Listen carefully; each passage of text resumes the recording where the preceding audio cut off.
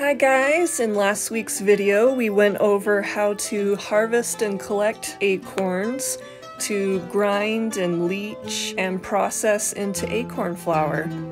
So this week we are making a recipe as promised and it's going to be acorn tortillas. So this is my acorn mush that I have that I've been soaking in water and I've been leaching it out until there's absolutely no bitterness or astringency at all it's perfectly bland and perfectly edible and ready to use. And it's hard to pour it all out without pouring some of the mush out. Unfortunately, that's just kind of an annoying thing about it. But we're going to get that water out. So this is what it looks like at the moment. There's lots of the good acorn mush on the bottom. And as you can see when I lift it up, it kind of looks like chocolate mousse or chocolate ice cream. It looks really nice. Now I'm stirring this up to uh, combine it all, although in retrospect I probably should have just poured that top layer off. But we're going to get the mush out of that extra water by laying out a cookie tray and putting a thin tea towel over it so it can seep through so we can get rid of some of that extra water.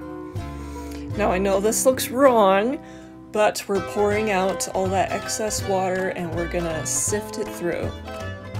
And it may take a little bit of pushing with the spatula and I decided at this point to just wring it out, even if I lose some starch along, because when you squeeze it out really hard you will lose some starch, but as it turned out it was still plenty moldable, plenty good starch in there as you can tell because it's actually able to form in a pretty good um, ball-like consistency.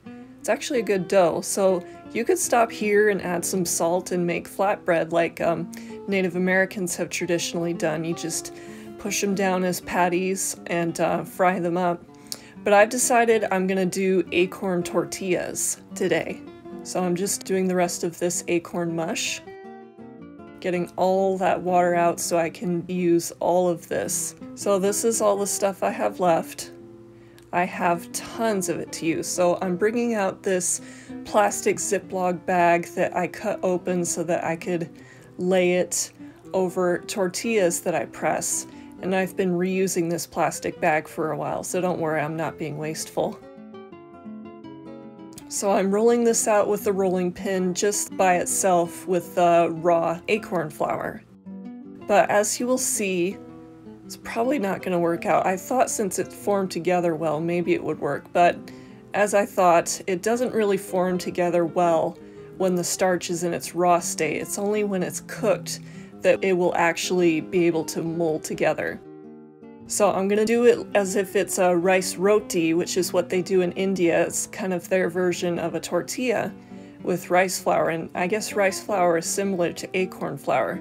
So I'm just taking a half cup of water instead of one cup for about one cup of acorn flour because I know the acorn flour is already pretty wet. And then I added a quarter teaspoon of sea salt and then a couple tablespoons of oil.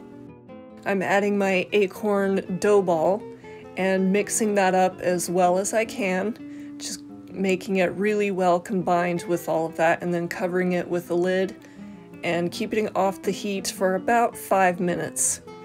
So while it's been off the heat for five minutes, all that steam has heated up the starch and made it stick together a lot better.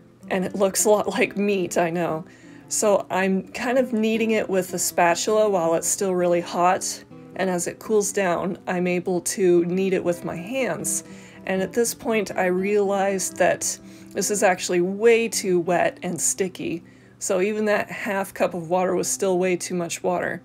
So I did a second batch where I just wrung out a lot of this acorn flour until it's basically super dry and just kept a little bit of the wet stuff in it, just kind of uh, going by hand and kind of feeling what a basic dough consistency would be like if I were to be doing a rice roti. So I add another quarter teaspoon of salt Mix all that together while it's cooking on medium heat. And then take that off the heat and cover that for five minutes. And then five minutes later, after it's been simmering with the heat off, this is what it looks like. And this one is actually really dry. So while I'm kneading that, I realize that I can just add this super wet dough to the super dry dough and it'll kind of even out. So I got that mixing really well. And as you can see, it's actually um, pretty good to mold with. So I'm mixing all of that together as well as possible until I have this huge ball of acorn dough that I'm pretty happy about. And it's making tortillas pretty well. Now that that starch has been heated up, it's forming into balls and tortillas pretty well. So I'm putting it back on this plastic, covering it up. Instead of a rolling pin, I'm using a plate to press all my body weight into to flatten it into a tortilla or a roti. So that peels off well. The moment of truth is whether this backside peels off. And I did it! I finally made an actual acorn tortilla. I was really excited that this worked out, so I started going full steam ahead, pressing all of these tortillas out of 100% acorn flour with just a little pinch of salt and oil. Just one after the other. And this made, I don't know, 16 tortillas? It made a lot. They kind of look like really dark pancakes. So I heated up a saucepan to about medium-high heat, actually high heat, and just flip them like a couple minutes on each side because they're already cooked, I'm just trying to get them a little dark and crispy and well cooked. So they're flipping pretty well. They're they're not getting stuck. On one of them, I decided to try pouring a little bit of oil on just to see if that would affect the flavor profile. But of course that one kind of broke on the way because it started to get sticky with the spatula. So I just experimented more with flipping that and seeing if I could make it nice and crispy.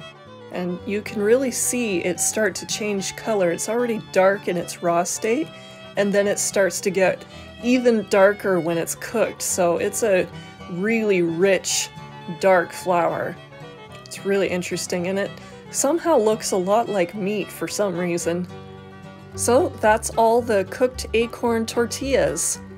Now, they have a great texture, they have complete protein, a good amount of fat and carbohydrates, so it's a good staple crop.